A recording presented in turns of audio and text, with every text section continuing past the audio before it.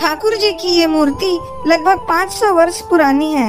ये मूर्ति स्वामी नारायण मंदिर के घरपुर गुजरात में स्थित है। ठाकुर जी के हाथ में जो घड़ी है, वो पल्स रेट से चलती है। इस घड़ी को एक अंग्रेज़ ने लगभग 50 साल पहले ये जानने के लिए ठाकुर जी के हाथ में बाँध दिया था कि क्या ठाकुर जी की मूर्ति के अंदर सच में प्राण है? और उसके द्वारा ये घड़ी ठाकुर जी की मूर्ति के हाथ में बांधते ही ये घड़ी चलने लगी और आज तक चल रही है। ये घड़ी जब तक ठाकुर जी के हाथ में बंधी रहती है, ये घड़ी बिल्कुल सही समय बताती है।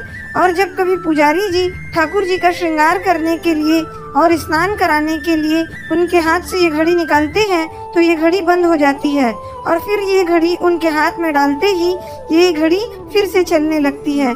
है ना अजब लीला?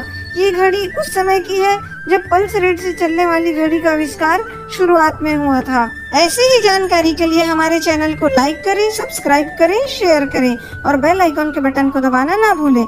श्री कुंज बिहारी, श्री हरिदास। राधे राधे।